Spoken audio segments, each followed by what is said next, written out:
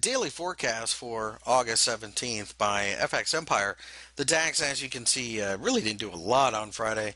But uh, the one thing above uh, that we pay attention to is this gap here. So with that, it seems like uh, we're going to continue to have a little bit of downward pressure.